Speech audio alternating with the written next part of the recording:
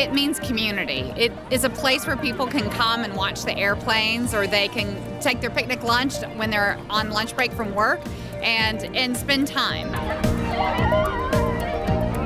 It's bringing Town Center together to make place it a place people want to be. We have a jewel in our Cobb County International Airport, and now we can enjoy that from outside the gate, so to speak. I'm sure this park will be busy all the time with kids and families, and um, I'm just excited to have it right here in Town Center CID in District 3.